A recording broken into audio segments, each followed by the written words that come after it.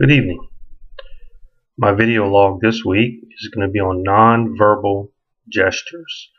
For example, when speaking, our body language does much to either strengthen or to contradict what we say.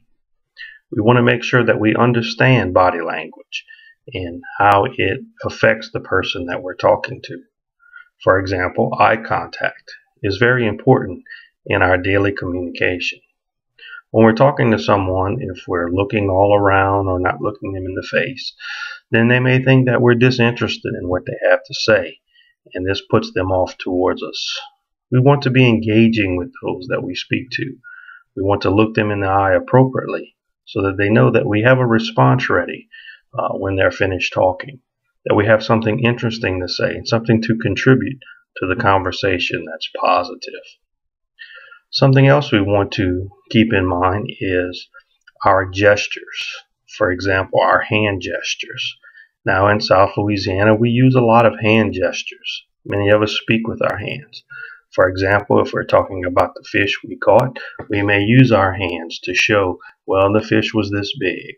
Or we may use them in a descriptive sense uh, when speaking of other subjects. So we want to make sure that um, we understand the different cultures and what hand gestures mean to them. Not all feel that certain hand gestures are appropriate.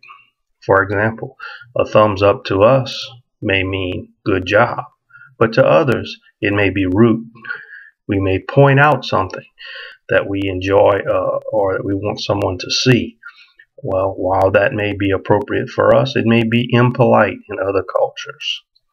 Folding our arms or closing ourselves off can be very disrespectful to other cultures. We want to make sure that these emblems, because they're culture specific, are understood by us and used in the appropriate way. Take, for example, if we decide after school that we want to engage in international business. These things would become very important. It could mean the difference between closing an important deal and making a great deal of money, or it could mean losing a deal and not making that money or uh, that monetary gain for our company.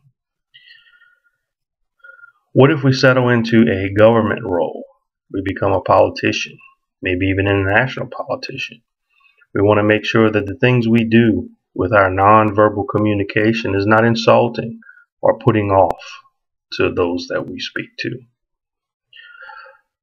There were many topics in the book that we could use to discuss our video log. Many of them are very important.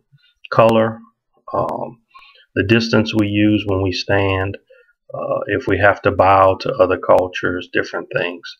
We want to make sure that we understand and that we use all of these appropriately so that we can engage in positive and progressive communication.